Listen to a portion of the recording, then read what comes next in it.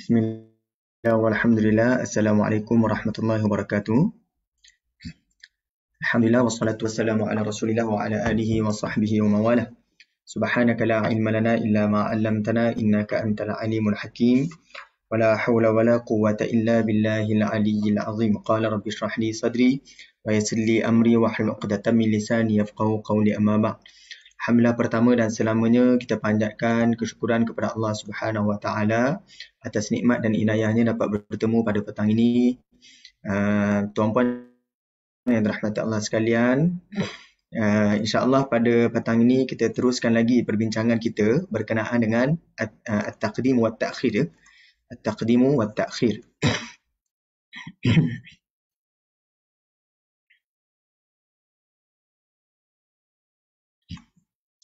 Okay, jadi kita akan buka pada muka surat yang ke-35 ya. Ha, pada nota yang second yang hari ini ada yang nota baru kemudian nota sebelum ini satu ya. Ha, nota yang sebelum ini tuan-puan boleh perhatikan uh, pada muka surat yang ke-35 Okay, jadi insyaAllah pada petang ini kita masih lagi berbincang sedikit tentang at-taqdim wa at-takhir lafaz yang didahulukan kemudian lafaz yang dikemudiankan. Kemudian saya rasa tak lama perbincangan yang ini, kemudian kita boleh teruskan dengan tajuk yang baru. Sebenarnya tajuk yang baru ni pun kita pernah sentuh tapi kali ini lebih terperinci berbanding yang sebelum ini ya. Okey, tuan-puan yang terahmati Allah sekalian, dalam surah Al-Baqarah ayat yang ke-173, Innama harrama alaikumul maitah. Allah berfirman bahawa sesungguhnya Allah hanya mengharamkan Uh, kepada kamu memakan bangkai, al-maitah bangkai, kemudian waddama darah, walahmal khinzir dan daging khinzir. Wama uhilla bihi li ghairillah dan binatang-binatang yang disembelih tidak kerana Allah. Sebenarnya kalimah wama uhilla bihi di sini ada sedikit huraian ya iaitu makna sebenar untuk wama uhilla bihi untuk sebahagian ilmuwan mereka terjemahkan wama uhilla bihi ini adalah haiwan-haiwan yang mana apabila disembelih suaranya berbunyi ataupun suaranya bunyi bunyi kuat ya. Maksudnya bila disembelih dia bunyi suara yang kuat. Itu disebut sebagai wama uhilla bihi ataupun dalam kalimah yang lain disebut al-bahimah. Dalam surah al-an'am digunakan juga kalimah al-bahimah. Al-bahimah iaitu haiwan yang mana bila disembelih suara mereka uh, bunyi kuat ya. Okey, itu wama uhilla bihi. Itu bagi sebahagian ilmuwan. Tetapi dalam terjemahan saya diterjemahkan binatang-binatang yang disembelih kerana nak meraihkan beberapa huraian tafsir. Okey. Famani turra maka barang siapa yang memakannya dalam keadaan darurat daripada kalimah darurah uh, utturra ini datang daripada kalimah darurah ghaira baghin. Bukan kerana menginginkannya wala adin dan tidak pula melampaui batas. Fala isma alaih. Maka Allah beri kelonggaran kepada mereka. Tidak ada dosa untuk memakannya. Innallaha ghafurur rahim. Sesungguhnya Allah Maha Pengampun lagi Maha Pengasih. Jadi tuan-puan perhatian saya pada petang ini untuk ayat ini adalah wama uhilla bihi. Uh, bihi disebut terlebih dahulu barulah li ghairillah. Okey fihi disebut terlebih dahulu kemudian barulah li ghairillah. Okey, saya teruskan dalam surah Al-Maidah. dalam surah Al-Maidah hurrimat diharamkan alaikum ke atas kamu al-maitah bangkai wadamu darah walahmul khinzir dan daging khinzir wama uhilla li ghairillahi bih dan haiwan yang disembelih uh, tetapi berbunyi suara mereka bila disembelih uh, dengan nama bukan Allah ataupun bukan untuk Allah Subhanahu Wa Taala. Jadi dekat sini tuan-puan perasan atau tidak berbanding dalam surah Al-Baqarah tadi bihi disebut terlebih dahulu tetapi untuk surah Al-Maidah li ghairillah disebut terlebih dahulu bihi di di di kebelakangkan ya. wal munkhaniqatu wal munkhaniqah yang mati tercekik wal mauqudhah yang mati dipukul wal mutaraddiyah yang mati jatuh daripada tempat yang tinggi wan natiha yang mati ditanduk wama akala sabu uh, dan yang mati dimakan oleh asabu binatang buas illa ma zakkaitum kecuali yang sempat kamu sembelih. Wa ma dhubiha 'ala nusub dan yang disembelih atas nama berhala an-nusub wa an tastaqsim wa an tastaqsimu bil azlam. Dan uh, diharamkan juga kamu merenung nasib dengan undi. Zalikum fisq. Kata Allah yang demikian itu adalah perbuatan fasik. Al yauma ya'isal ladzina kafaru. Hari ini orang-orang kafir mereka merasa ya'is. Mereka rasa putus asa. Min dinikum. Daripada agama kamu fala takhshawhum wakhshawni. Maka janganlah kamu takutkan mereka dan takutlah kepadaku.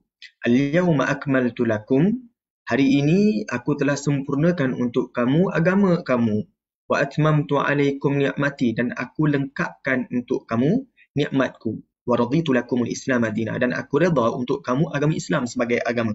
Faman turra maka barang siapa yang terpaksa fi makhmasatin uh, kerana kelaparan memakan benda-benda yang diharamkan Uh, ghayra mutajanifin li'ith.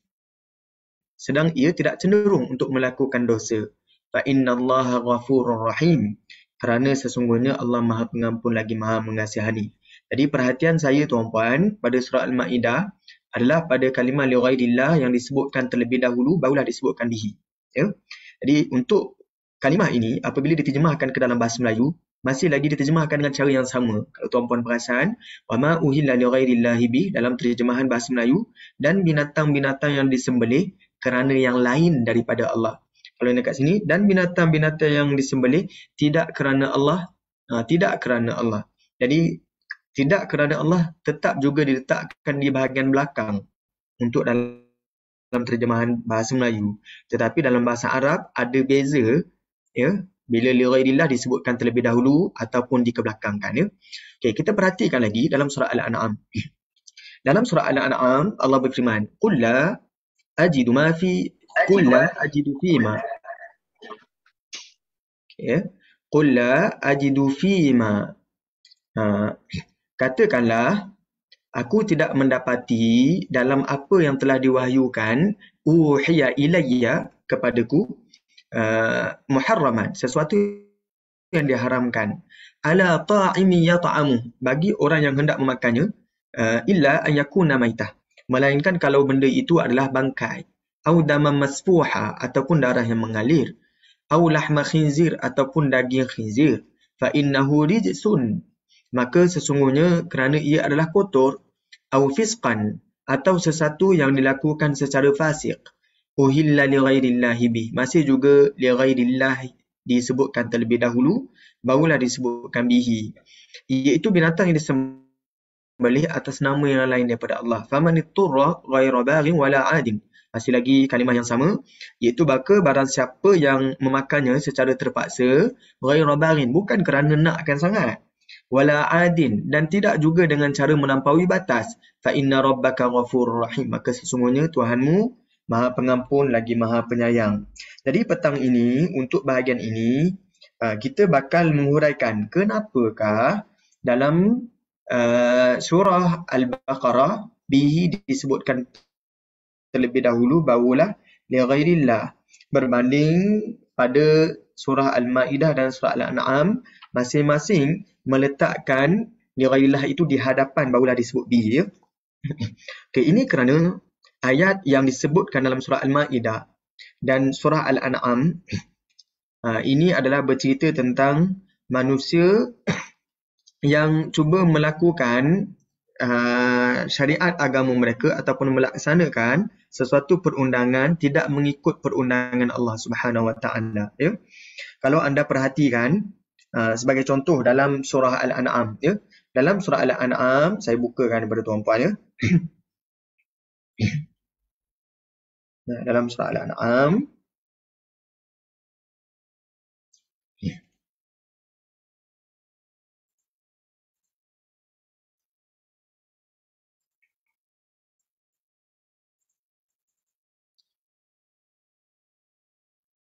Hmm.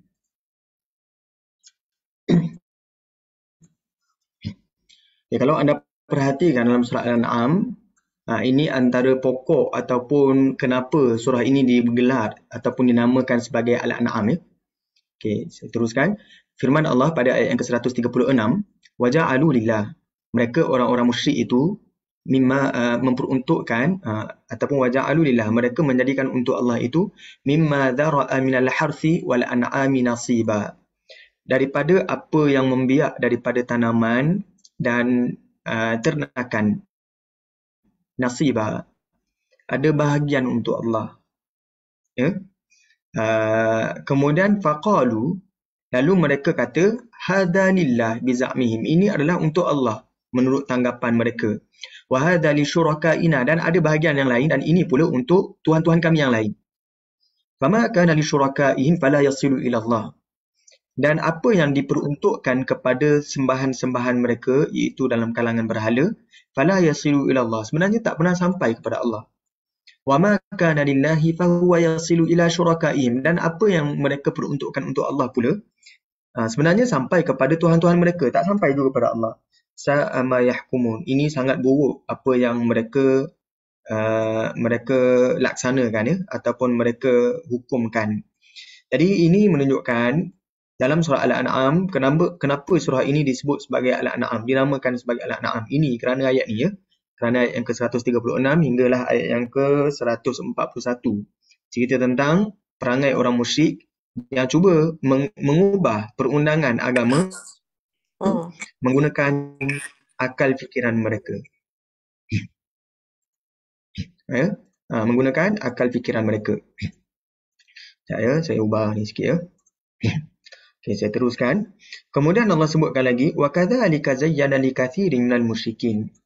Dan demikianlah juga uh, uh, apa di dihiaskan uh, demikianlah juga Uh, ketua-ketua orang yang orang-orang musyrik itu jadikan sekutu bagi Allah. Zayyana li katsirin minal musyrikin. Ataupun kalau saya terjemahkan secara harfiah dan begitu juga zayyana li katsirin minal musyrikina dihiaskan kepada kebanyakan dalam kalangan orang musyrik itu qatla auladihim syuraka'uhum. Uh, membunuh anak-anak mereka uh, syuraka'uhum. Uh, ini adalah disebut sebagai uh, ketua-ketua mereka ya. Uh, kalau kita terjemahkan dalam bahasa Melayu tuan-puan ataupun kalau saya susun balik dalam bahasa Arab syuraka'uhum ini adalah fa'il. Maksudnya begini ya. Wa kadzalika zayyana syuraka'uhum. Uh, begitulah ataupun demikianlah uh, ketua-ketua mereka uh, menghiaskan untuk kebanyakan orang-orang musyrik untuk membunuh anak-anak mereka. Uh, begitu kalau kita terjemahkan dalam bahasa Arab ya. Kita susun balik. Uh, itu uh, bentuk susunan yang asal lah. Uh, tapi Al-Quran sudah tentu meletakkan kalimah syuraka'um di, di belakang. Ada sebab. Masih lagi dalam tajuk ini sebenarnya. Syuraka'um diletakkan di belakang.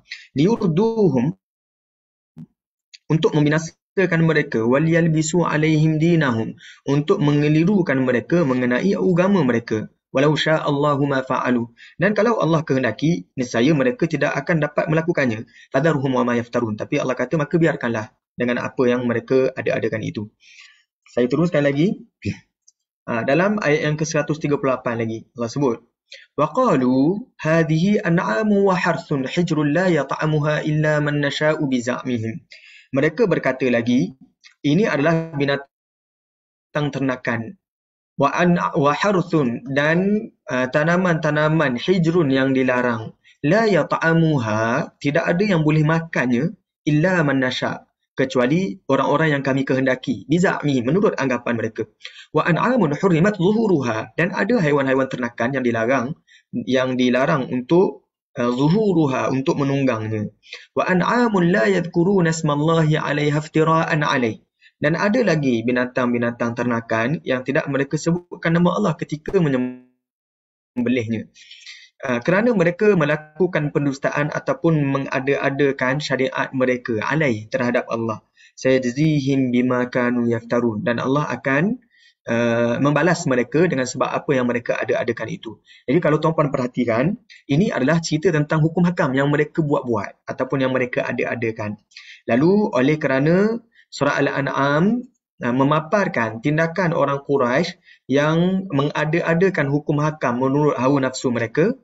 Uh, lalu pada ayat ini didahulukan kalimah li ghairillah barulah sebut bihi iaitu Allah sepatutnya duduk ke atas. Ha, walaupun ini cerita tentang hukum hakam bab pemakanan. Ya. Cuma Allah sebut uhilla li ghairillahi bi. Kenapa? Ini disebutkan untuk membetulkan balik tindakan mereka yang cuba untuk mengada-adakan hukum hakam sendiri. Ya. Jadi li ghairillah dikedepankan. uh, itu kerana itulah disebutkan li ghairillah supaya manusia memberi perhatian pada ini. Jadi perundangan bab pemakanan yang disebutkan dalam surah Al-An'am pada ayat yang ke-145 ini adalah sebagai pantulan daripada tindakan mereka yang cuba melakukan perundangan sendiri tidak kerana Allah Subhanahu Wa Taala lalu ayat ini mengkedepankan kalimah li ghairillah. Li ghairillah terlebih dahulu disebut barulah disebut bihi. Ya. Okey, saya teruskan lagi. Uh, kalau saya perhatikan juga dalam surah Al-Maidah pula ya. Kenapa dalam surah Al-Maidah disebut li ghairillah? Disebutkan nama Allah terlebih dahulu barulah disebut bihi. Ya. Iaitu haiwan haiwan-haiwan yang disembelih bukan kerana Allah ya. Kita perhatikan dalam surah Al-Maidah. Okey, saya teruskan. Kalau anda perhatikan di sini, Okay. Ayat yang kedua ya. Maaf ya.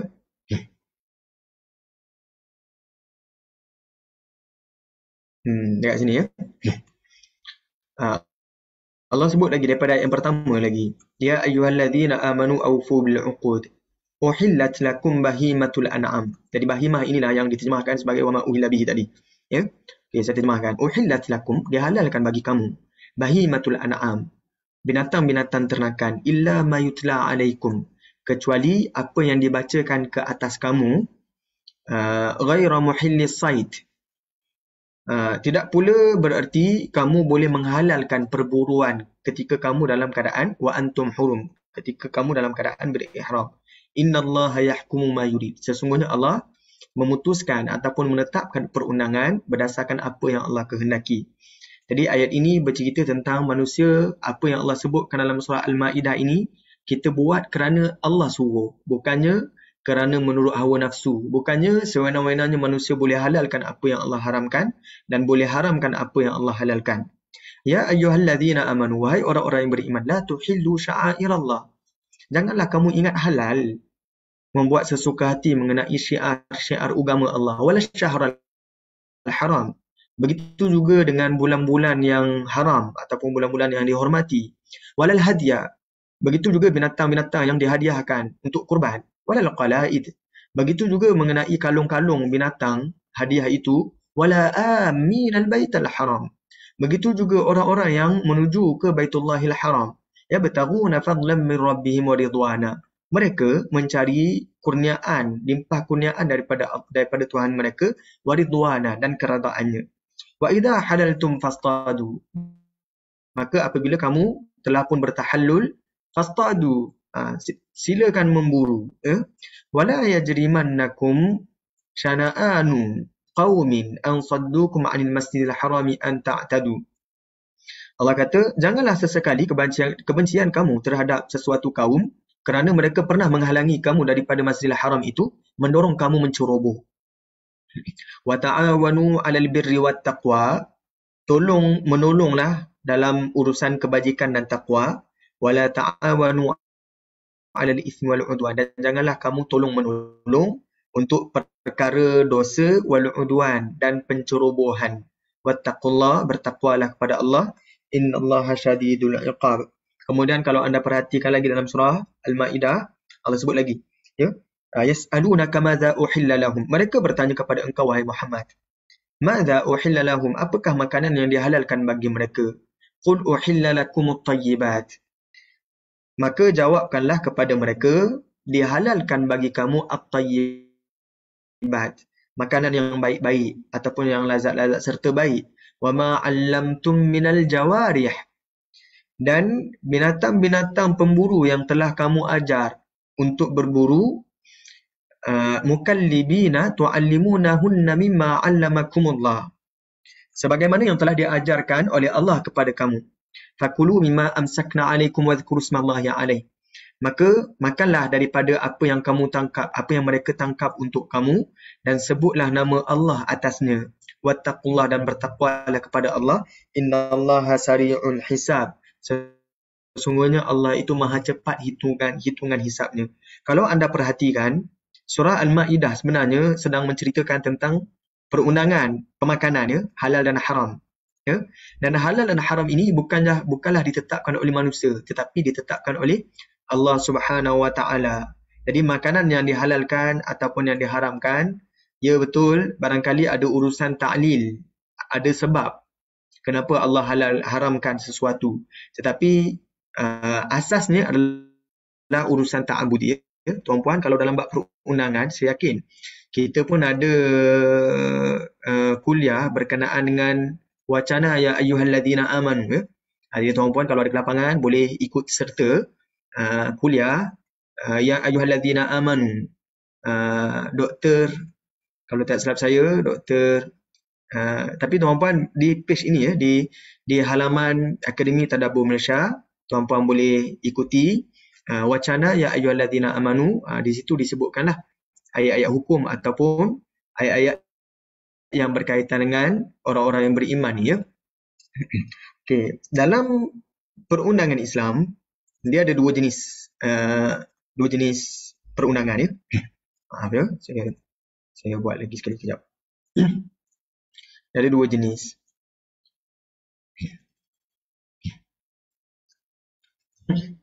Yang pertama dikenali sebagai ta'abbudi.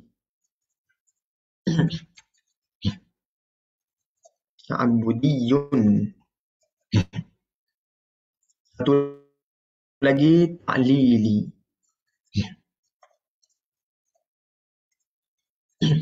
Saya bukan ahli dalam bidang uh, fiqah, uh, cuma dalam usul fiqh ataupun dalam perbincangan fiqah seringkali dikaitkan ini perihal ta'abudi ataupun ta'lili. Kita akan bincang.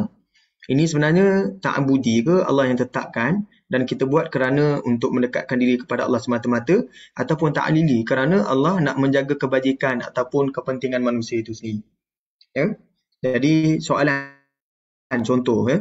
Contoh dalam bab solat. Dalam bab solat Allah menetapkan saya untuk solat lima lima waktu satu hari. Kemudian solat subuh saya solat dua rakaat. Solat zuhur saya solat empat rakaat. Solat asar saya solat empat rakaat. Jadi orang tanya, kenapa solat subuh saya tak solat empat rakaat macam solat zuhur ataupun solat asar? Maka saya jawab, ini adalah ta'abudi. Allah yang tetapkan, saya buat menurut apa yang Allah tetapkan. Itu ta'abudi kita sebut. Contoh, kalau saya batal wudu. Saya batal wudu melalui uh, uh, keluarnya angin bukannya daripada mulut saya, tapi keluar daripada belakang saya. Jadi yang saya basuh nah, untuk ambil wudu, bukannya saya kena sapu air pada belakang saya, tapi saya kena basuh muka.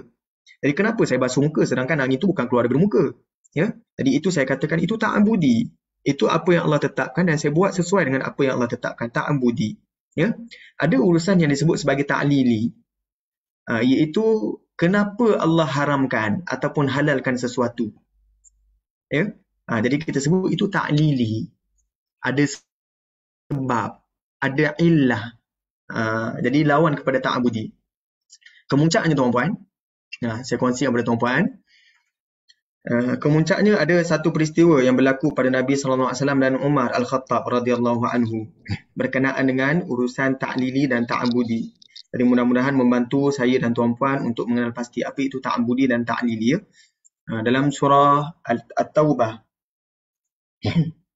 Dalam surah At-Taubah kalau tak silap saya pada halaman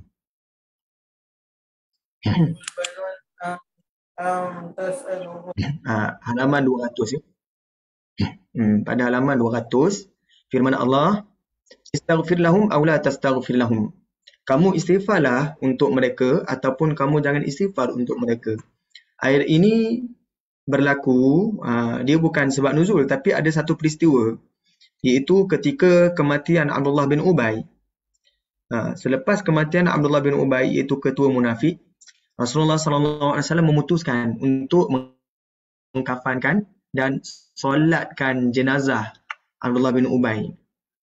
Lalu tindakan Rasulullah sallallahu alaihi wasallam ini dikritik hebat oleh Umar Al-Khattab.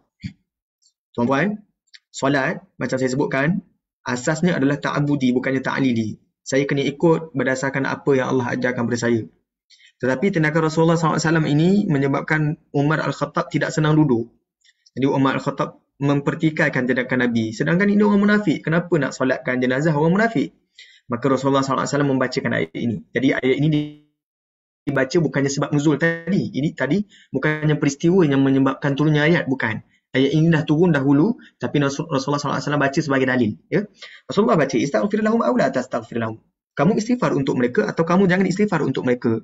Atau di sini bererti boleh pilih Ha, kamu istighfar untuk mereka atau kamu boleh pilih jangan istighfar untuk mereka. Sekiranya kamu istighfar untuk mereka 70 kali, falan yaghfirallahu lahum. Maka Allah tetap tidak akan mengampunkan mereka. Kata Nabi, aku akan tambahkan lebih daripada 70 kali. Ya? Kenapa Allah tidak akan mengampunkan mereka? Allah kata, "Dzalika bi annahum kafaru billahi wa rasulih." Ini kerana mereka kufur kepada Allah dan Rasulnya. Wallahu la yahdil qaumal fasiqin. Dan Allah tidak memberi petunjuk kepada orang-orang yang fasik. Namun Umar Al-Khattab mempertikaikan apa yang dilakukan oleh Nabi menggunakan dalil yang sama. Umar berpandangan istaghfir lahum aw la tastaghfir lahum. Kamu istighfar untuk mereka atau kamu jangan istighfar untuk mereka. Sama sahaja. Jadi anda perhatikan uh, asas perselisihan antara Nabi SAW dan Umar adalah pada lafaz au. Ya? Rasulullah memandang au ini dengan maksud takhir, boleh pilih. Tetapi Umar memandang ini adalah taswiyah, sama sahaja. Bukan boleh pilih tapi sama sahaja. In tastaghfir lahum sab'ina marrah. Kalau engkau istighfar untuk mereka 70 kali. Jadi Umar berpandangan 70 kali di sini bukannya bermaksud bilangan. Tetapi sab'in dekat sini adalah mubalaghah bererti 70 ataupun banyak kali. Kamu istighfarlah untuk mereka banyak kali sekalipun, tetap Allah tidak akan mengampunkan mereka 70 ke, 1000 kali ke, 1 juta kali ke, tetap Allah tidak akan ampunkan mereka. Itu pandangan Umar. Pandangan Umar berpandangan bahawa sab'in ini adalah mubalaghah maksud dia. Tapi Nabi SAW melihat sab'in ini adalah dengan maksud tahdid, bilangan. Itu orang puan. Ini perdebatan yang sangat Uh, menunjukkan uh, sesuatu perkara yang umat Islam boleh beri perhatian ya. Dalil yang sama, makna terjemahan yang lebih kurang sama tetapi ada huraian yang berbeza. Lafaz yang sama, terjemahan sahaja pada au dan sab'ina atau ataupun tujuh puluh. Yang mana Nabi melihat au ini dengan maksud boleh pilih sab'ina bilangan tujuh puluh. Manakala Umar melihat au ini adalah sama sahaja. Manakala sabaknya Umar memandang ini adalah banyak kali. Tak kisah 70 ataupun 100. Ya? Dalil yang sama oleh sebaik-baik manusia Nabi Muhammad SAW perkara yang pokok ataupun perkara yang tak boleh dipertikaikan iaitu solat, solat jenazah. Ini kita sebut sebagai ta'abudi, urusan ibadat. Ya? dipertikaikan oleh sebaik-baik sahabat Umar Al-Khattab. Tuan-puan rasa tindakan Umar ini kurang ajar atau tidak? hmm, kurang ajar tak kalau buat macam ni? ha. Jadi kat sini.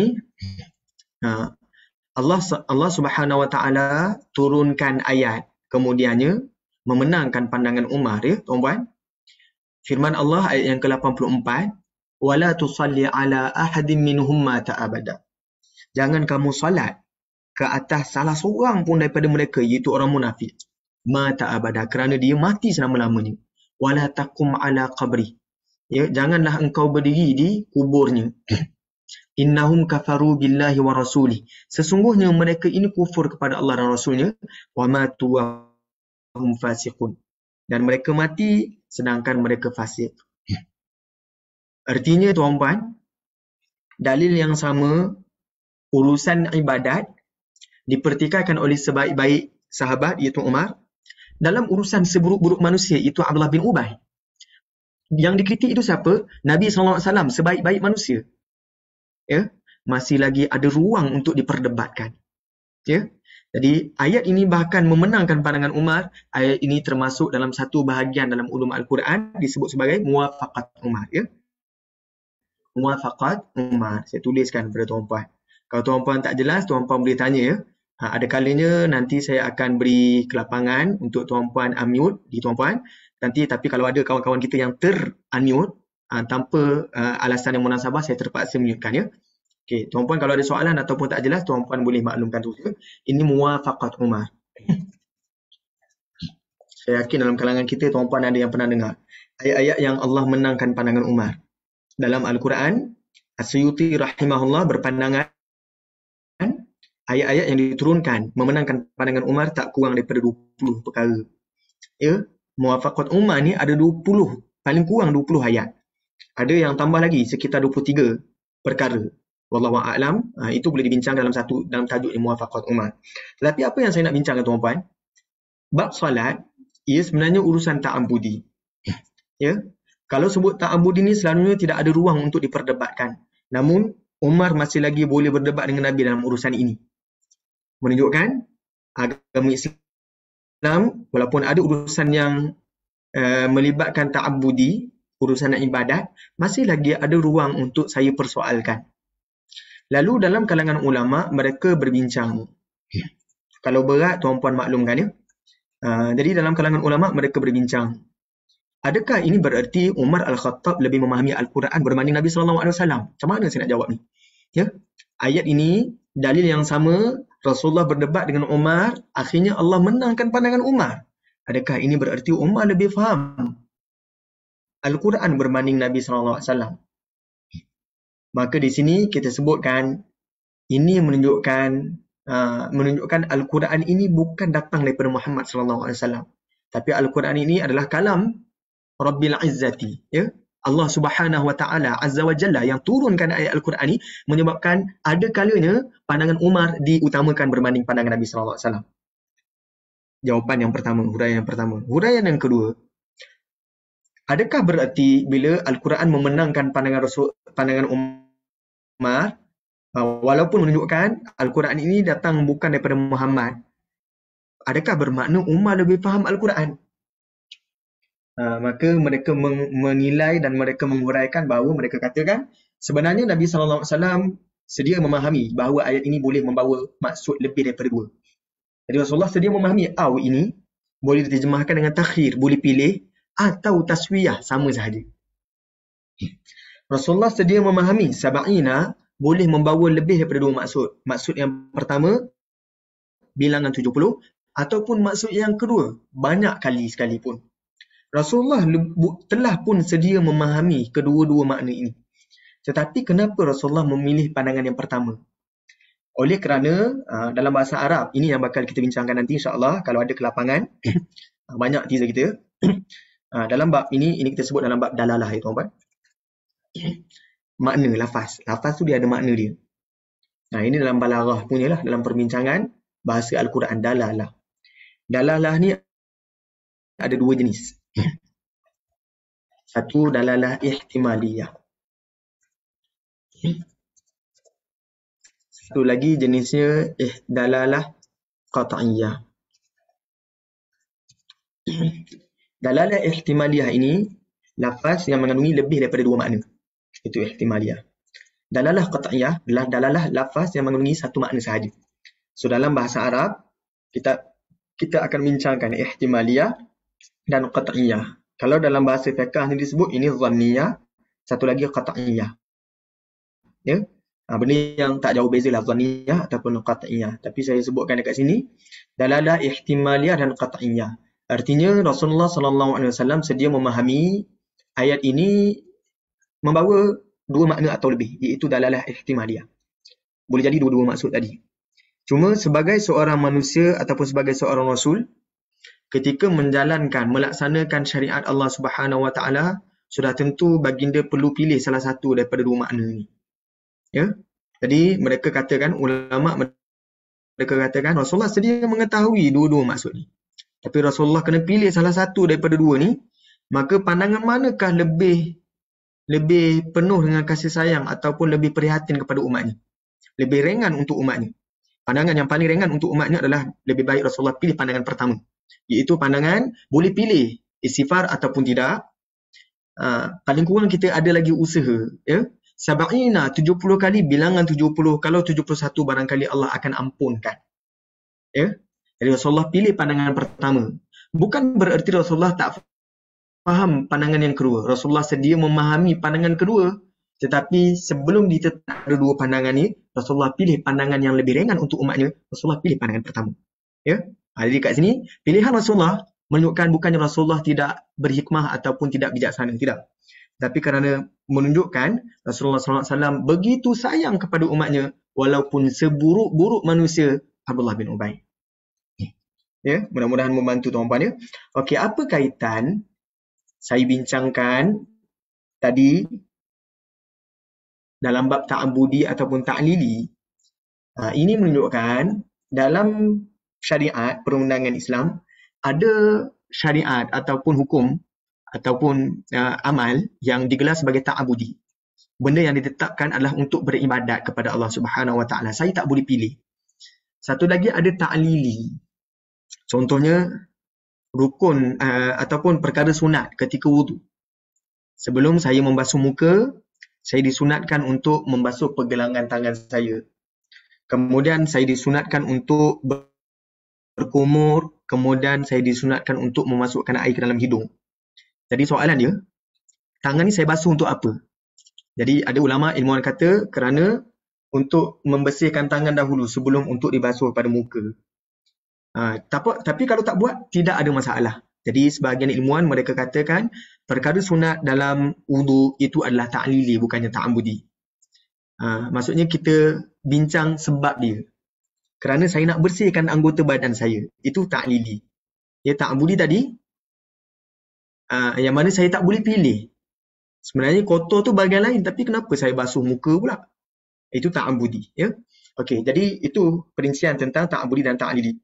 Okey, ada sebahagian manusia tuan-puan, tadi kita balik semula pada ayat ni, mereka buat satu ayat ni ataupun hukum hakam perkara yang uh, apa yang Allah tetapkan sebagai contoh dalam bab pemakanan ya bab makan. Allah sebut lahmul khinzir. Kalaulah saya tidak mencari hikmah kenapa Allah melarang saya makan daging khinzir dan saya dah cari contoh, saya dah cari, saya tak jumpa hikmah sebab apa. Maka saya nak buat apa? Adakah saya kata ini uh, saya tak jumpa sebab sekarang ni saya dibenarkan untuk makan daging khinzir. Tak, tidak begitu. Ini kita katakan apa yang Allah sebutkan ini, ini adalah urusan ta'abudi. Walaupun saya dah cari hikmah, saya tak jumpa, tetap juga ia haram. Ya? Jadi ini kita sebutkan ini adalah urusan ta'abudi. Bila urusan ta'abudi tuan-puan, uh, maka Al-Quran menyebut dahulu kalimah li'ghairillah berbanding bihi. Bihi ni berbalik kepada makanan tadi ya. Uh, kalau saya terjemahkan dalam bahasa Arab ni, wama uhilla yang disembelih bihi pada pada yang disembelih itu. Jadi hi ni balik kepada wama tadi, balik kepada ma. Hi ni. Jadi makanan disebut kat belakang. Allah disebut terlebih dahulu. Perundangan ini menunjukkan perundangan ini ketetapan daripada Allah Subhanahu Wa Taala. Jadi apa yang disembelih untuk selain daripada Allah padanya pada binatang tersebut disebutkan dahulu kalimah Allah menunjukkan perundangan ini kerana Allah yang tetapkan bukan manusia yang tetapkan. Ini urusan ta'abudi. Ya? Mudah-mudahan membantu tuan-puan ya untuk uh, menghuraikan tentang ayat surah Al-Ma'idah. Jadi surah Al-Ma'idah ni uh, Al-Quran sedang membatalkan syariat yang ditetapkan oleh manusia. Iaitu halal dan haramnya sebuah makanan itu ditetapkan oleh Allah Subhanahu Wa Taala. Bukannya ditetapkan oleh oleh manusia. Jadi tidak hairan. Uh, dalam surah Al-Maidah disebut lagi yas'alunaka madza uhilla lahum. Mereka bertanya apakah yang dihalalkan untuk mereka tapi Allah sebut apa yang dihalalkan ataupun yang diharamkan adalah mimma allamakumullah berdasarkan apa yang Allah ajarkan. Ini menunjukkan ini adalah ta'abudi bukannya ta'lidi dalam urusan pemakanan. Ya? Melainkan at-tayyibat inilah at-tayyibat ni bolehlah kita sebut ta'lili. Contoh benda tu Al-Quran tak sebut tapi benda tu kotor atau membau mudarat. Itu adalah urusan yang kita boleh kaitkan dengan ta'lili iaitu ada darar, ada mudarat. Uh, wala dirar dan membawa mudarat. Mudarat dan membawa mudarat, memudaratkan. Jadi uh, Al-Quran tak membenarkan ataupun Allah tak membenarkan untuk kita makan makanan yang memudaratkan. Yang pasti kenalah at-tayyibat. Yang, yang lain itu uh, lahmal khinzir contohnya. Ini kalau tidaklah membawa mudarat tetap juga dilarang kerana ini adalah urusan ta'ambudi. Okay, saya berbalik kepada seterusnya tadi surah Al-Baqarah. Sekarang saya sedang bandingkan kenapa dalam surah Al-An'am dikedepankan kalimah li ghairillah. Dalam surah Al-Maidah dikedepankan kalimah li ghairillah. Tetapi dalam Al-Baqarah dikedepankan bihi. Seolah-olah menunjukkan dalam surah Al-Baqarah yang diberi keutamaan adalah bab makanan. Kalau tadi dalam surah Al-Maidah dan Al-An'am yang diberi perhatian itu adalah perundangan yang ditetapkan oleh Allah. Jadi macam mana saya nak menilai surah Al-Baqarah ni kenapa disebut bihi terlebih dahulu seolah-olah memberi isyarat ini cerita tentang makanan bukannya cerita tentang perundangan semata-mata. Jadi ayuh kita perhatikan apa yang dinyatakan dalam surah Al-Baqarah ya tuan-tuan. Okay, kita pergi kepada dalam surah Al-Baqarah. Kan anda perhatikan ayat yang ke-172, ayat sebelum dia. Allah sebut ya ayyuhalladzina amanu wahai orang-orang yang beriman Kulu min tayyibati ma razaqnakum. Makanlah daripada apa-apa yang baik-baik yang kami telah rezekikan kepada kamu. Washkuru lillah. Bersyukurlah kepada Allah in kuntum iyyahu ta'budun. Sekiranya kamu kepadanya kamu menyembah. Jadi kalau anda perhatikan, ini Al-Quran sedang memberi petunjuk tentang bab pemakanan, ia adalah rezeki kepada Allah. Jadi ayat ini adalah berkenaan dengan pemakanan. Ya? Kulu ni disebut. Ha. Kemudian barulah disebut innama harrama alaikumul maitah. Jadi ayat ini uh, selain daripada menceritakan perundangan tetapi yang lebih mustahaknya adalah berkaitan dengan makanan itu sendiri. Ya, kerana ayat sebelum itu memberi isyarat tentang makanlah. Bahkan kalau tuan-puan perhatikan lagi uh, ayat sebelumnya, ya, ayat-ayat yang sebelumnya, contohnya dekat sini ya, Ya ayuhan nas kulu mimma fil ardi halalan tayyiban. Masih lagi cerita tentang makanan ataupun rezeki kurniaan Allah Subhanahu wa taala.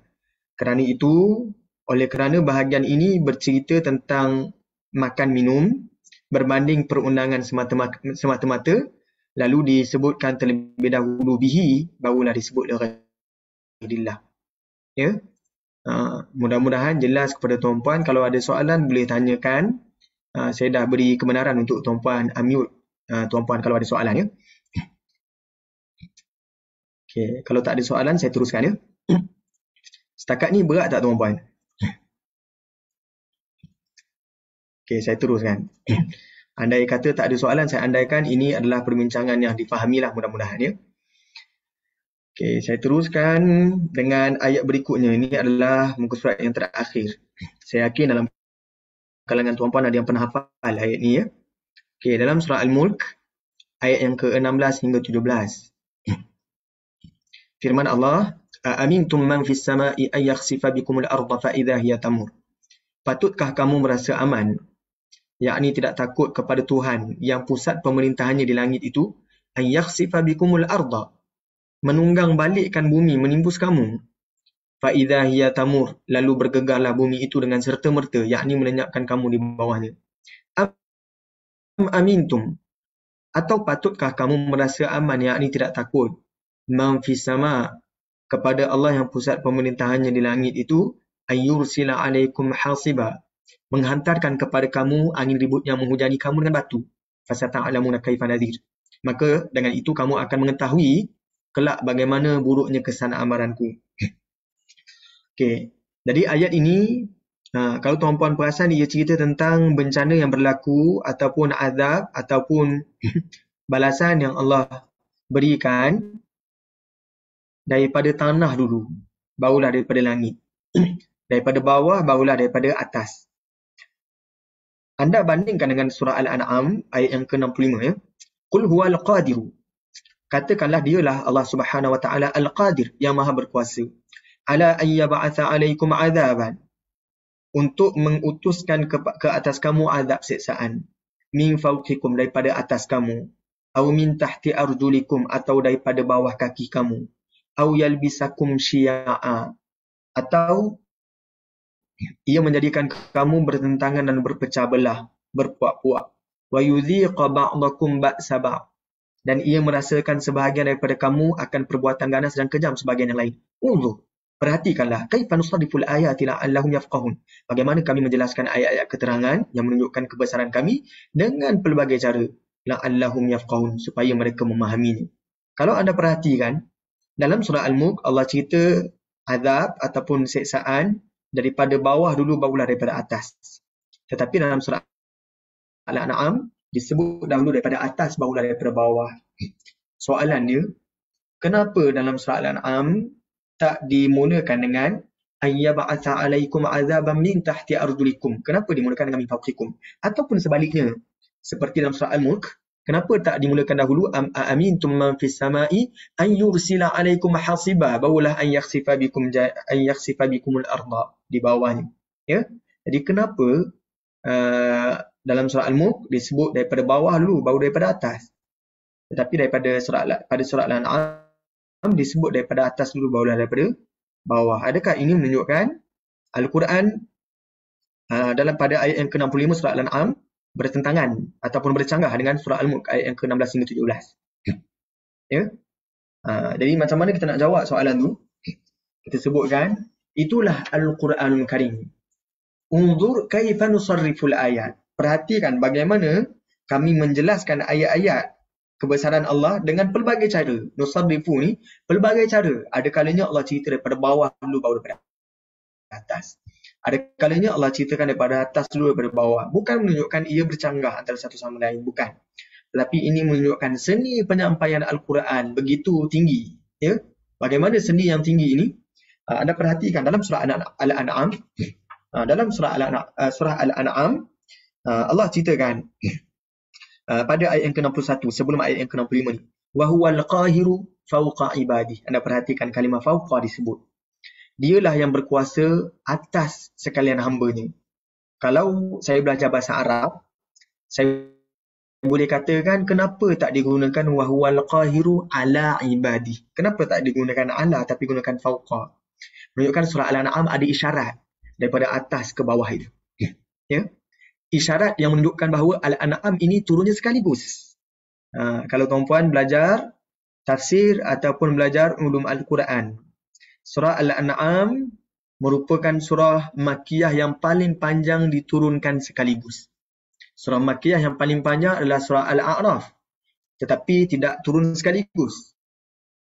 Surah Al-An'am adalah surah yang paling panjang turun sekaligus pada kategori surah Makiyah. Ya? Jadi kalimah fauqa diguna pakai berbanding ala. Fauqa lafaz yang lebih jelas menunjukkan atas. Kalau ala boleh membawa maksud atas ataupun terhadap. Ya. Okey, wa yursilu alaikum hafazah. Dia mengutuskan ke atas kamu hafazah. Hafazah ni siapa? Pengawal-pengawal malaikat yang menjaga dan menulis segala yang kamu lakukan. Hatta idza jaa ahadakumul maut. Sehinggalah apabila sampai ajal maut kepada salah seorang daripada kamu, tawaffat hursuluna. Uh, utusan-utusan kami ini akan mematikannya. Siapakah utusan ini? Adalah malaikat. Wahum la yufarritun. Sedang mereka pula tidak pernah cuai dalam menjalankan tugas ni. Jadi kalau tuan-puan perhatikan, disebut hafazah. Uh, jelas hafazah ataupun malaikat, tempat tinggal mereka adalah di di langit ya. Uh, jadi tempat tinggal mereka adalah di langit. Manakala uh, dalam surah al-mulk kenapa disebut bawah dulu baru disebut atas? Uh, kerana ayat yang sebelumnya ayat yang ke-15 kalau anda perhatikan ayat yang ke-15 dalam surah al-mulk saya tunjuk kepada tuan-puan.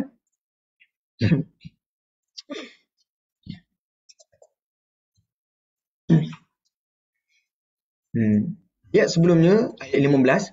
Huwallazi ja'ala lakumul arda dhalula. Ia sedang bercerita tentang tanah ataupun bumi. Dialah yang menjadikan untuk kamu bumi dhalula mudah untuk digunakan. sama ada untuk berjalan di atasnya ataupun untuk mengambil rezeki limpah kurniaan Allah Subhanahu wa taala litabtawu min fadli ya famshu fi manakibiha maka berjalanlah di pelosok-pelosoknya wa kulu min rizqih dan makanlah daripada rezekinya oleh kerana ayat sebelumnya bercerita daripada bawah dulu iaitu tanah ataupun bumi yang dipijak oleh manusia lalu ayat yang ke-16 menggunakan menceritakan tentang bahagian bawah dulu barulah dicerita tentang bahagian atas. Itulah susunan Al-Quran begitu cermat dan begitu teliti dalam menyusun daripada bawah ataupun ke atas. Uh, Okey, silakan Puan Umi ada soalan? Uh, silakan kalau ada soalan silakan. Okey, saya teruskan ya. Kalau tiada soalan, saya teruskan insya-Allah. Tadi selesai tuan-puan, kita punya huraian tentang at-taqdimu wa ta'khir.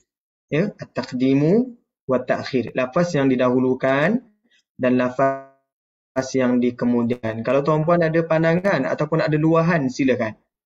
Tak boleh mute, tak boleh unmute. Okey, saya buat lagi sekali. Saya beri keizinan untuk tuan-puan unmute ya. Ha, kita buka untuk diskusi sekejap. eh, sekali lagi. Okey dah. Silakan tuan-puan kalau nak ada soalan. Silakan.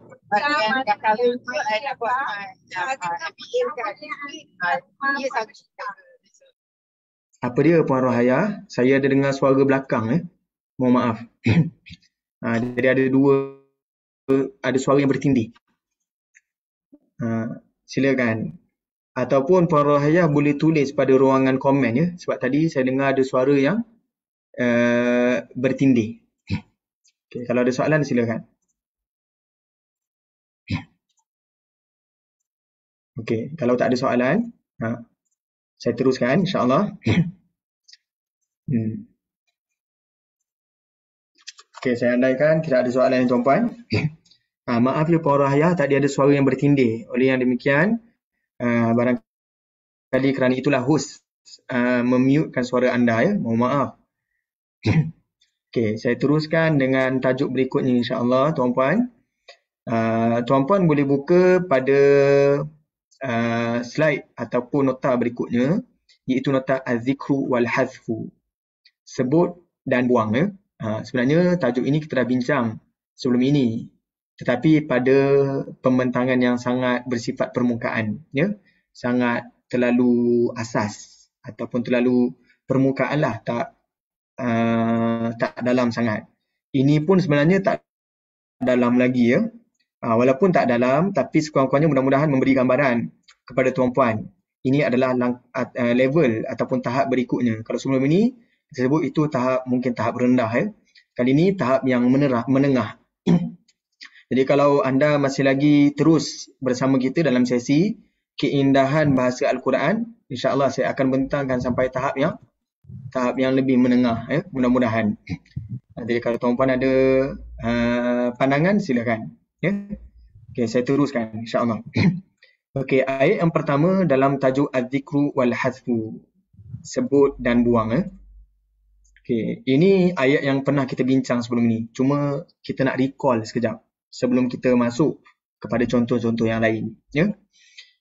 Dalam surah Al-Kahfi, Allah berfirman, "Atuni zubaral hadid." Ini cerita tentang Zulqarnain dengan Ya'juj dan Ma'juj bawalah kepadaku ketul-ketul besi hatta sehinggalah idza sawa baina sadafaini qala fukhu apabila ia terkumpul separas tingginya menutup lapangan antara dua gunung itu qala fukhu dia pun perintahkan kepada mereka untuk meniupnya fukhu sebenarnya untuk meniupnya tapi dekat sini terjemahan membakarnya dengan berkata umfukhu tiuplah dengan alat-alat alat-alat kamu. Ha, dekat sini kalimah tiup lah.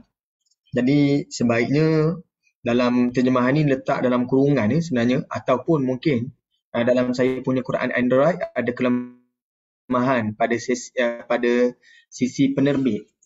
Ya, uh, tidak meletakkan tanda kurungan menunjukkan la, secara lafaz adalah qalam fukhu. Jalqarnain kata unfukhu tiuplah. Tapi dekat sini sebut dia pun perintahkan mereka membakarnya dengan berkata tiuplah dengan alat-alat kamu. Hatta idza ja'alahu nara. Sehingga apabila ia menjadikannya merah menyala seperti api, qala. katanya atuni bawalah tembaga cair kepadaku ufrir alaihi qitra. Aku akan tuangkan ke atasnya. Qitra ya? Ha. itu kata Zulkarnain ya? Ha. kemudian ayat berikutnya ayat yang ke-97. Allah berfirman famasta'u. Maka mereka tidak mampu ayyadharuhu untuk panjat. Wa mastata'u dan mereka tidak mampu lahu naqba untuk menembuknya. Jadi kalau tuan-puan ingat ayat 96 dan 97 sebenarnya kita dah pernah bincang sebelum ni ya iaitu tuan-puan uh, perbincangan kita tentang adzikru wal hadfu sebut atau buang ini adalah berkaitan apakah lafaz yang kurang ataupun lafaz yang lebih uh, pada setengah lafaz. Contohnya dekat sini ya. Dalam ayat yang ke-97 ada kalimah ista'u tidak mampu. Famasta'u tidak mampu. Wa mastata'u tidak juga mampu. Dalam terjemahan saya tidak dapat. Bahagian yang kedua tidak dapat juga. Itu terjemahan dalam bahasa Melayu. Tetapi terjemahan ini tidak dapat menghuraikan kenapa pada lafaz bahasa Arab dua kalimah ni tak sama. Iaitu pada kalimah ista'u kurangnya lafaz huruf ta. Ya, ta ni tak ada. Sebaliknya pada bahagian yang kedua ta ni ada. Jadi inilah az-zikru wal hadfu iaitu pada bahagian yang kedua ada az-zikr, ada sebutan huruf ta. Pada bahagian yang pertama al-hadf dibuang huruf ta. Nah, jadi az-zikr yang mana? Az-zikr itu adalah istata'u Al-Hadf yang mana Al-Hadf itu adalah pada ista'u. Jadi soalan dia, kenapa bila saya baca ayat ini, kenapa Al-Quran tidak menggunakan lafaz yang sama? Famasta'u ayyadharuhu wa masta'u lahu naqba. Ataupun famastata'u ayyadharuhu wa mastata'u lahu naqba. Tetapi sebaliknya Al-Quran membezakan penggunaan ista'u dan istata'u. Ya? Jadi saya yakin tuan-puan masih lagi ingat ya kenapa surah Al-Kahfi menggunakan dua lafaz yang berbeza ini. Walaupun dalam terjemahan masih lagi diterjemahkan dengan makna yang sama, tidak dapat. Sebenarnya dalam kesenian bahasa Arab ataupun uh, cermatnya bahasa Al-Quran Karim, ya, uh, kita bincang ini ada beza pada makna sebenarnya. Kurangnya lafaz ataupun sebutan huruf ta membawa makna yang lebih kurang. Lebihnya lafaz ta membawa makna yang lebih. Artinya mereka tidak mampu untuk panjat. Dan mereka tidak mampu iaitu dan mereka lebih tidak mampu untuk menembuk. Jadi lebihnya huruf menunjukkan makna yang lebih. Dia sebut satu istilah, ha, saya tuliskan ya. Istilahnya ataupun kaedahnya. Hmm. Eh. Kaedahnya adalah ikhtilafu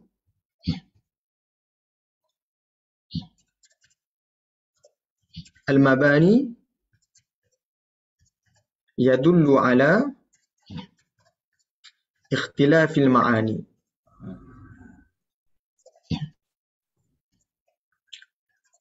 hmm. maksudnya berbezanya bentuk ataupun struktur uh, ayat ataupun lafaz ataupun kalimah yadullu ala menunjukkan ikhtilafil ma'ani berbezanya makna ya ikhtilaful mabani yadullu ala ikhtilafil ma'ani. Berbezanya struktur kalimah menunjukkan berbezanya makna. Ataupun dengan lebih jelas uh, contoh dalam bab ni ya sebut ziyadatul uh, ziyadatul mabani. Yadullu ala ziyadatul ma'na. Ziyadatul ma'ani ah, maaf Ha. bertambahnya struktur kalimah tu menunjukkan bertambahnya makna. Jadi bertambahnya huruf ta menambahkan lagi makna istata'u berbanding ista'u. Jelas ya? Ataupun kita boleh vice uh, versa, ya? kita boleh terbalikkan uh, kalimahnya iaitu berkurangnya uh, naqsul mabani yadullu ala naqsil ma'ani berkurangnya struktur menunjukkan berkurangnya makna. Jadi kalau saya bandingkan tadi, ha, tuan-puan boleh snap ataupun ambil gambar je. Ha. Okay, saya teruskan ya. Jadi dekat sini, berkurangnya lafaz menunjukkan makna yang uh, kurang iaitu usaha untuk memanjat adalah kurang berbanding usaha untuk menebu. Bertambahnya struktur huruf ta ada tambahan pada ista'u menunjukkan pertambahan makna iaitu usaha untuk menebu adalah lebih berbanding usaha untuk memanjat. Kenapa kita baca juga ayat sebelumnya? Kerana ayat sebelumnya memaparkan bahawa betapa uh, kukuhnya pagar yang dibina oleh Zulkarnain. Ya. Uh, jadi pagar yang dibina itu betapa kukuhnya uh, menunjukkan panjat tu lagi senang daripada tebu. Sebab ada uh, ada barang-barang ataupun uh, benteng yang mana panjatnya tu lebih susah daripada tebuk. Tebuk lagi senang daripada panjat. Tapi untuk pagar ini ataupun benteng ini, ini nak tebuknya lebih susah daripada nak panjat. Okay, jelas ya tuan-puan? Ha, jadi kalau tuan-puan ada soalan silakan. Okay, saya teruskan ya. Okay, kita teruskan lagi beberapa contoh untuk al-dhikru wal-hadfu sebut ataupun buang. Hmm. Yang saya siapkan dalam nota ni, ni ada hanyalah terjemahan ni tuan-tuan. Terjemahan ayat-ayat Al-Quran. Itu dalam 10 muka surat daripada buku ni lah. Takbirul Quran ni. Walaupun sebelum ni kita pernah bincang Balaghatul Kalimah. Tapi perbincangan yang terlalu nipis. Ya, ini perbincangan yang lebih tebal sedikit ya. okay. Falamma ahassa Isa minhumul kufr. Maka ketika Nabi Isa merasakan dalam kalangan mereka itu adanya al-kufr, kekufuran. Qala, Isa bertanya, Man ansari ila Allah? Siapakah yang boleh bantu saya untuk menegakkan agama Allah? Qala al-hawariyuna. Golongan hawariyun menjawab, Nahnu ansarullah. Kamilah penolong Allah. Amanna billah. Kami beriman kepada Allah. Washhad dan saksikanlah di anna muslimun bahawa kami ini muslimun orang-orang yang menyerah diri. Anda bandingkan cerita yang tak jauh beza dengan surah Al-Maidah ayat yang ke-111 ya. Ayat yang ke-111 Allah berfirman wa iz awhaitu dan ingatlah ketika aku wahyukan ilal hawariyin kepada golongan hawariyun an aminu bi untuk beriman kepadaku wa bi rasuli dan untuk beriman dengan rasulku. Qalu mereka berkata amanna kami beriman. Washhad dan saksikanlah bi annana muslimun bahawa sesungguhnya kami adalah orang-orang yang menyerah diri tuan-puan saya yakin tuan-puan perasan ya iaitu pada kalimah bi anna ini ada satu nun manakala pada ayat yang ke-111 surah Al-Maidah ada dua nun. Macam saya sebutkan tadi, ziyadatul mabani yadullu ala ziyadatil ma'ani. Struktur yang bertambah ataupun pertambahan struktur menunjukkan pertambahan makna. Jadi saya yakin tuan-puan dah nampak dah macam mana nak bezakan antara surah Ali Imran ayat yang ke-52 dengan surah Al-Maidah ayat yang ke-111. Okay, macam mana saya nak bezakan kedua-dua ayat ini, ha, tuan-puan? okay, jadi saya bezakan yang pertama, saya tengok dekat sini, innana dengan bi'annana dengan bi'anna. Bila adanya pertambahan annana ni, ada pertambahan nun. Yang atas ni kurangnya huruf nun. Menunjukkan bahagian bawah ini penegasannya adalah lebih. Apa buktinya penegasan yang bawah ini lebih daripada yang atas? Anda perhatikan ya.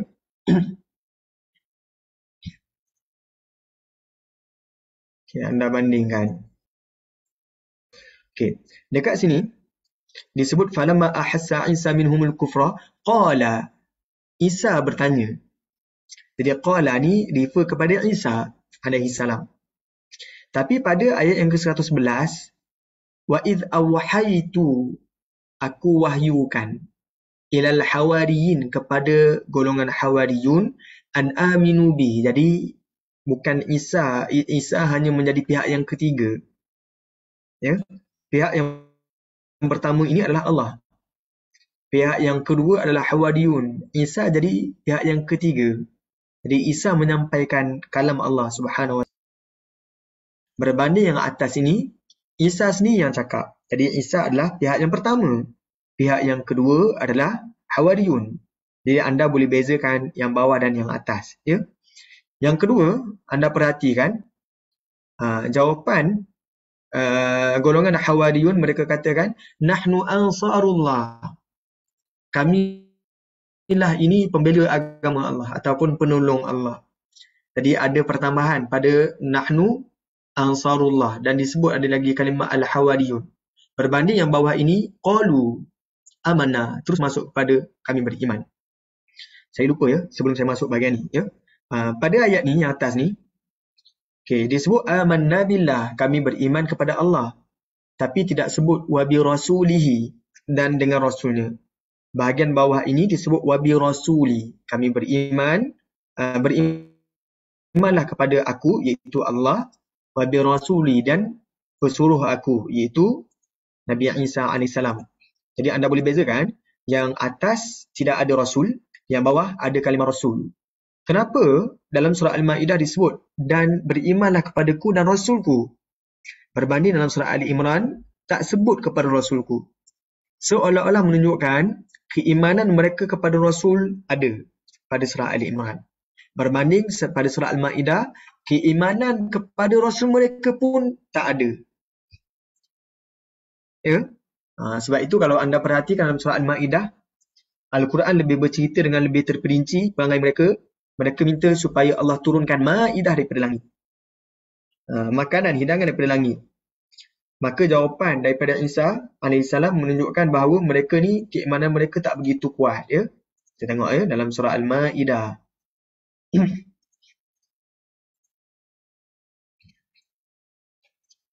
Hmm. Kat sini ya. Uh, Iqala al-Hawariyun. Ingatlah ketika Hawariyun berkata, Ya Isa bin Maryam, Wahai Isa anak Maryam. Al-Quran sengaja mengulang mengulang sebut kalimah Ibn Maryam. Berbanding Nabi-Nabi yang lain, contohnya Ibrahim. Tak disebut ya Ibrahim bin Azar. Ya Ibrahim bin Azar. Ataupun ya ya ya Yusufa, ya Yusufu, ya Yusufu bin Yaqub. Nah, dia tak sebut nama ayah yang lain. Tapi Isa disebut Ibn Maryam.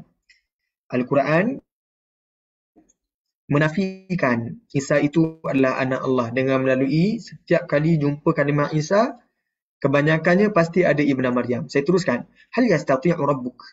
Adakah Tuhanmu mampu ayunazzila alaina untuk menurunkan kepada kami ma'idatan minas sama hidangan daripada langit. Qala kata Nabi Isa ittaqullah. Takwalah kepada Allah in kuntum mu'minin. Sekiranya kamu orang-orang yang beriman. Menunjukkan lafaz qala taqullaha in kuntum mu'minin keimanan mereka terhadap Isa pun tidak kuat. Ya? Ha, bahkan disebut hal yastati'u rabbuka. Mereka tak sebut hal yastati'u rabbuna. Bila disebut, dijawab, mereka sebut apa? Qalu nuridu an na'kula minha wa tatma'inna qulubuna wa na'lama an qad sadaqtana wa nakuna 'alayha minasyahidin. Mereka buat benda tu adalah sebab mereka nak makan dan mereka nak tenangkan hati-hati mereka. Ini pada surah Al-Maidah menunjukkan keimanan mereka tidaklah begitu kuat sehingga mereka meminta permintaan yang uh, tidak masuk akal ya ataupun tidak sepatutnya. Tetapi kalau anda bandingkan dengan uh, surah Ali Imran uh,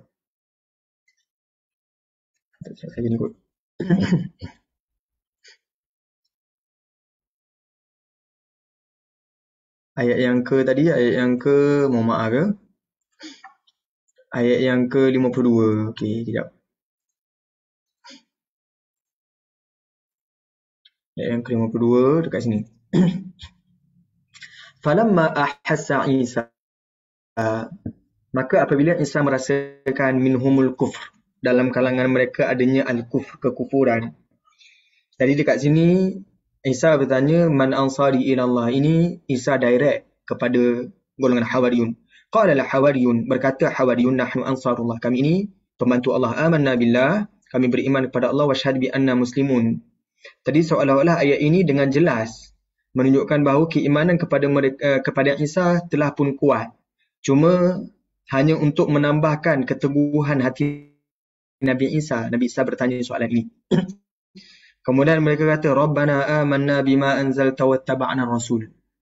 Tuhan kami, kami beriman uh, dengan apa yang telah engkau turunkan. Wattaba'na rasul dan kami mengikuti rasul, iaitu Nabi Isa. Faktu nama syahidin, syahidin. Maka catatkanlah kami bersama orang-orang yang bersaksi. Jadi ini menunjukkan keteguhan iman mereka adalah lebih berbanding dalam surah Al-Ma'idah. Ada sebab kenapa bahagian ini disebutkan pada surah Ali Imran, bukan bahagian ini yang disebutkan pada surah Al-Ma'idah. kerana surah Ali Imran ha, sasaran ataupun penyampaian utama surah Ali Imran adalah untuk uh, membetulkan ataupun meneguhkan uh, keteguhan umat Islam daripada gangguan luaran pandangan luar ataupun ideologi luar.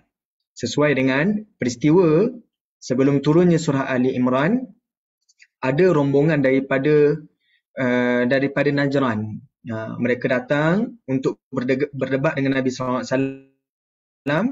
Maka surah Ali Imran turun untuk berhujah dengan golongan Kristian yang datang ini. uh, jadi dalam ayat berkenaan dalam surah Ali Imran ada dipaparkan perhatikan Hawadiyun keimanan mereka teguh kepada Allah dan Rasulnya iaitu Nabi Isa.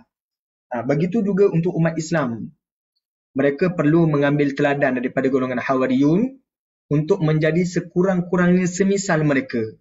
Bantu Nabi SAW bukannya biarkan Nabi keseorangan dalam dalam dakwah. Itu dalam surah Ali Imran. Tetapi dalam surah Al-Ma'idah, kenapa diceritakan sisi kelemahan golongan Hawariyun? Uh, kerana surah Al-Ma'idah sedang mengiktiraf. Sekarang, kedudukan sahabat Ridwanullah alaihim adalah lebih tinggi daripada kedudukan Hawariyun. Ah, jadi surah Ali Imran pada fasa awal sebelum iman mereka uh, diteguhkan tetapi surah Al-Maidah iaitu ketika keteguhan iman golongan sahabat kumpulan sahabat ini adalah lebih tinggi daripada keteguhan iman golongan Hawariyun. Nampak tak ada perbezaan antara penyampaian surah Ali Imran dan surah Al-Maidah. Ya, ha, jadi saya tinggalkan perbincangan tentang penyampaian utama ataupun mahawir ataupun tema surah itu.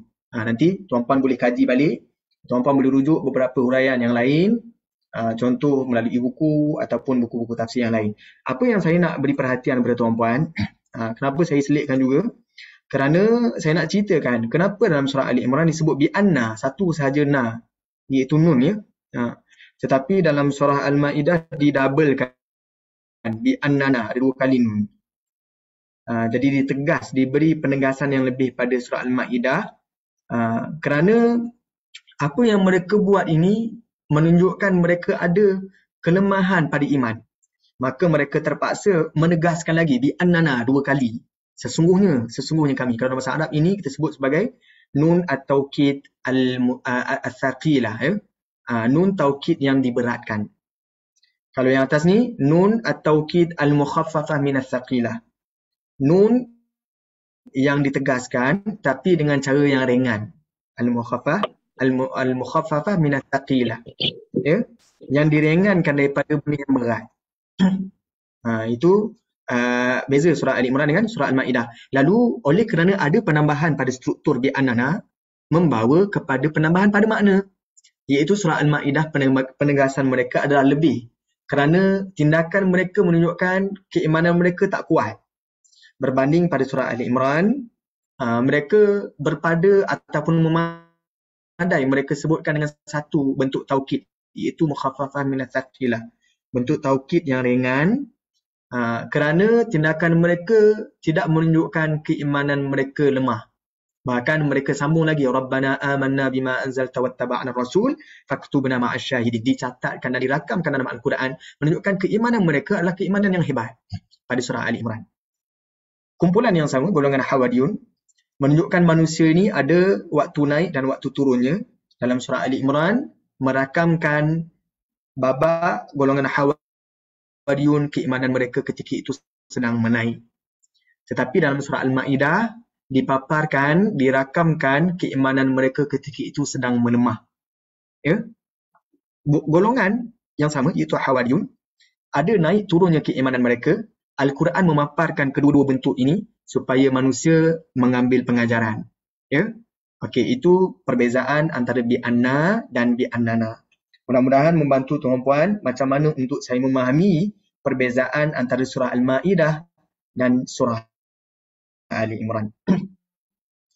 uh, saya rasa ada baiknya saya buka untuk soalan. Kalau tuan-puan ada uh, saya takut saya seorang je yang faham apa yang saya huraikan. Ya? Uh. Okay, kalau kalau tak ada, saya boleh teruskan ya. kalau berat tuan-puan maklumkan ya. Sekejap saya tengok sekejap. Uh, saya tak rasa bahagian selanjutnya ni, perbezaan kalimah selanjutnya, uh, saya sempat tamatkan dalam tempoh 13 minit ya, yang berbaki ni. Uh, daripada surah An-Nahl dan surah An-Naml. Saya rasa ini memerlukan sedikit masa untuk saya huraikan. Ya? Jadi saya rasa tak sempat untuk saya huraikan dalam 13 minit. Jadi saya rasa boleh saya berhenti dekat sini dan ketafi bihadal qadr. Saya cukupkan perbincangan kita pada kadar ini. Saya mohon maaf atas kelemahan dan kekurangan saya sepanjang pembentangan pada petang ini. Mudah-mudahan pembentangan yang ringkas ini membantu tuan-puan melihat salah satu sudut keindahan Al-Quran Karim iaitu sudut kemukjizatan Al-Quran pada aspek bahasa. Yang mana untuk makluman tuan-puan, kemukjizatan Al-Quran boleh dilihat pada banyak lagi sudut. Ini yang saya bentangkan pada aspek bahasa semata-mata. Nanti bila tuan-puan telusuri lagi kemukjizatan Al-Quran, ada bahagian-bahagian lain yang lain yang menegaskan lagi ataupun menyerlahkan lagi keindahan Al-Quran pada aspek susunan, pada aspek uh, ejaan, pada aspek bacaan, pada aspek uh, penceritaan ataupun pengkesahan, pada aspek bidalan dan perumpamaan. Jadi banyak lagi aspek yang menambahkan lagi keindahan tentang Al-Quran Karim. Yang penting matlamat saya ketika menyampaikan uh, sesi kita iaitu keindahan bahasa Al-Quran supaya kita bertambah yakin bahawa Al-Quran yang saya terima ini adalah daripada Allah Subhanahu Wa Taala. Bukan rekaan manusia bukan apa yang manusia ada-adakan bukan. Tapi ia adalah daripada Allah Subhanahu Wa Taala yang maha agung ataupun yang maha maha bijaksana ya. Wallahu a'lam. Subhanakallahumma wa bihamdika. Asyhadu an la ilaha illa anta astaghfiruka wa atubu ilaik. Bismillahirrahmanirrahim. Wal 'asr. Innal insana lafi khusr illa alladhina amanu wa 'amilus salihat wa tawasaw bil haqqi wa tawasaw bis sabr assalamu alaikum warahmatullahi wabarakatuh Waalaikumsalam warahmatullahi wabarakatuh. Terima kasih Ustaz. Assalamualaikum. Sama-sama. Waalaikumsalam warahmatullahi